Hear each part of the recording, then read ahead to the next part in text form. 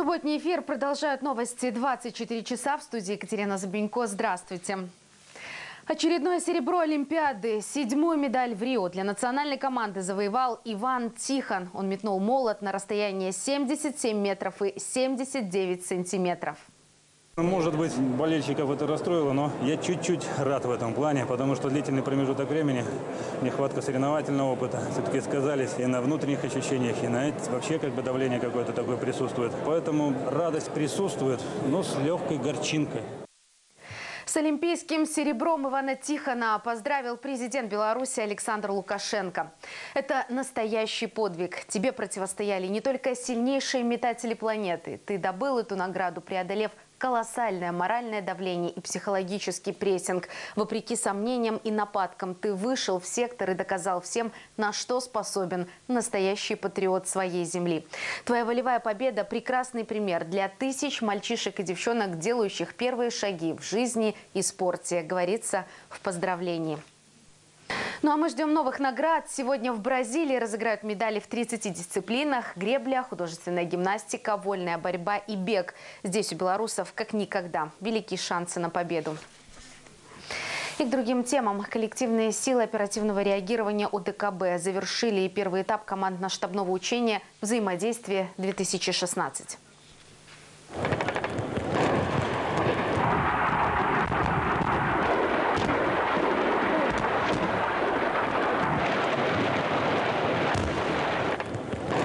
На полигоне в Псковской области учения демонстрируют степень эффективности и взаимодействия между командованием Западного военного округа, Управлением коллективных сил оперативного реагирования, а также между соединениями вооруженных сил России.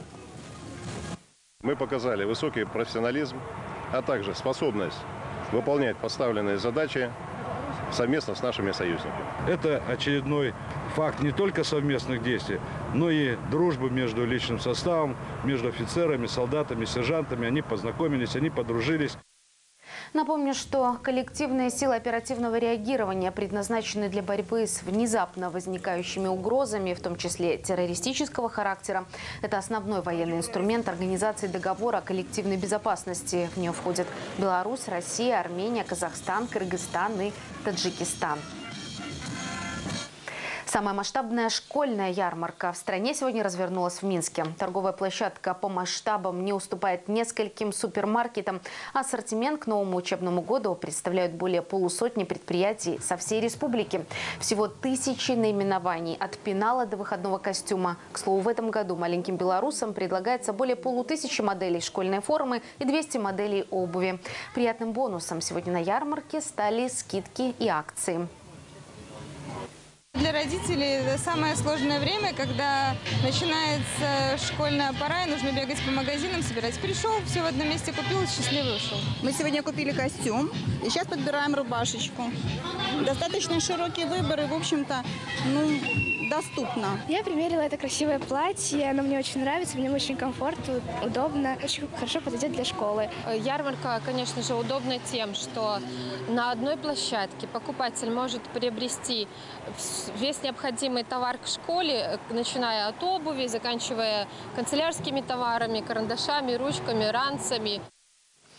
Буквально через час в национальный аэропорт Минск из Афона прибудут мощи преподобного Силуана. Для поклонения святыня будет доставлена в Свято-Духов кафедральный собор к пяти часам вечера.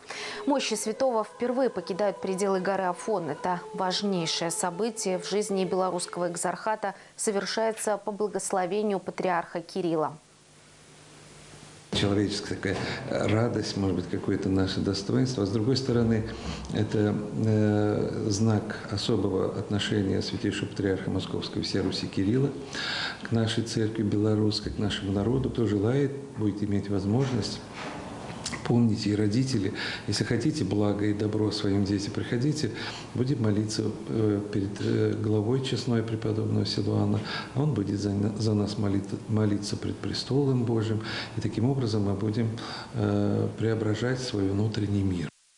Поклониться святыне можно будет до 31 августа. Все это время храм будет работать круглосуточно. Для удобства паломников у собора организована специальная парковка. Ожидается, что сюда будут прибывать верующие со всех уголков Беларуси. И последнее. Дровосеки из четырех стран меряются силами в Бресте. В открытом республиканском чемпионате «Лесоруб-2016» участвуют 150 человек из Беларуси, России, Литвы и Украины. Профессиональные состязания проходят в шести упражнениях, в том числе валке деревьев и точном пилении. Распилить бревно с точностью до миллиметра и свалить ствол высотой с пятиэтажный дом прямо в цель – задача не из простых.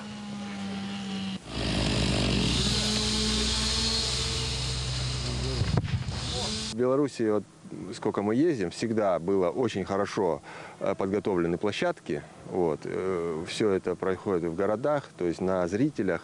Очень приятно, когда там за тебя болеют. Мы белорусов поднатащили э, их научили, теперь они нас догнали, перегнали в чем-то. Ну, примерно мы на равных. Условия всех заданий максимально приблизили к естественным. Как и в любом другом спорте, здесь также есть свои звезды. Лучшие из представленных в Бресте белорусов осенью отправятся на чемпионат мира в Польшу. На этом у меня пока все. Репортажи, эфирное видео всех программ в любое время доступны на YouTube-канале СТВ. Звоните, делитесь своими новостями по телефонам горячей линии 290 66 00 или единица 600 700.